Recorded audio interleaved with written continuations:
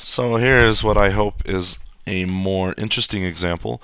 We still have our original basis vectors and we still have that one vector we were working with except I extended it out to 2, 2 out here. But there we have it, our, original vector. And then I've added other vectors. Right, and you can see here we have sliders and I can adjust the various vector values. Let's put that back to a 3. And we also have our basis or our matrix that we're going to use to do our transformation right here. And so this is our first basis vector and our second basis vector. So what you're seeing here is, for example, let's see, which one of these is straight up in the y? It'd be this one. This one is 0, 3. So this is 0 times the x basis vector uh, plus 3, that was kind of a weird 3, but 3 times our second basis vector. So three of these would be give me 1, and then 2, and then 3, and that gives me our, or that gives us, that produces this result here. Okay, so kind of interesting. And you can see the result here is 0, 3. I have the result, so it's like we take the value of this slider and and put it here, and the value of this slider, put it here, multiply, add, and that gives us this resulting vector here. And same thing here, resulting vector. So 2 times 2 right here, 2, and then 2, uh, 2 here. 2 times that plus 2 times that gives us this, and so on and so forth for the rest of these. Okay, so again, I'm I'm gonna, gonna do some linear transformations.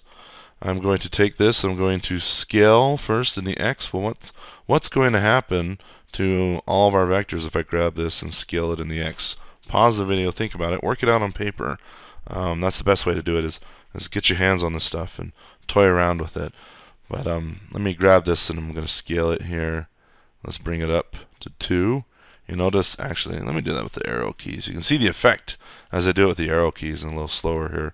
But as I bring that out to 2, then we're essentially scaling on the x. We're stretching our x basis vector and and notice here all the vectors that had a part of this or used a part of this vector stretched as well. And these are negative. So we have the negative 2 negative 2 here. So if I take this vector and I times it by a negative 2 that's going to give me negative 1 negative 2 and so that accentuates the x stretch so to say or the x scaling. And of course, I can do the same thing with the y here. I can bring this up to 2. And so I've essentially, well, pretty much everything's off the screen now for you, but we've we've doubled the size of our our vectors here. Now let me let me reset this back all to 0. Or not 0, back but back to 1. And, and if you notice the shape I've kind of made, if I, if I removed these arrows here and I just pretended these were positions out in space. So here's a position, and here's a position, and here's a position, and so on and so forth. I can connect these dots and make a shape out of this. And the shape is not too dramatic, but it is kind of interesting.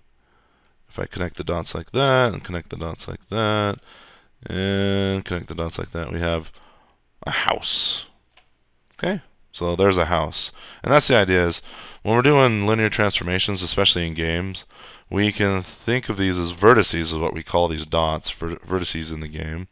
Or what's really happening mathematically is that they're vectors and, and so the vertice position is just this is just a displacement from the origin. Notice all my vectors I've kept at the origin here. And that's when we're doing linear transformations, that's something to keep solid in your head is that it transforms the vector with respect to the origin. And so it's critical that I have all these vector tails meet at the origin because that's what linear transformations do.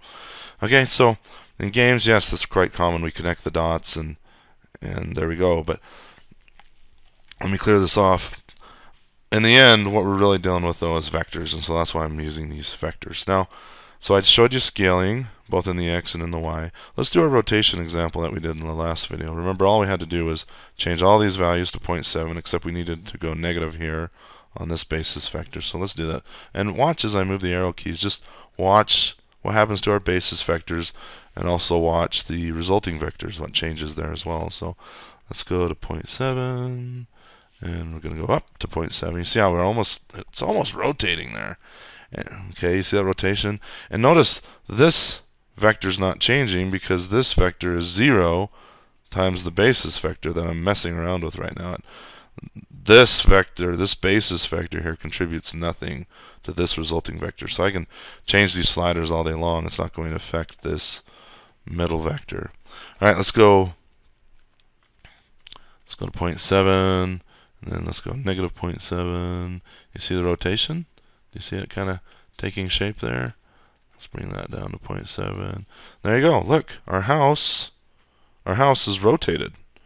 All right, let me go to the effort of connecting the vertices or the ends of these vectors again, what best I can with straight lines here and bring it down.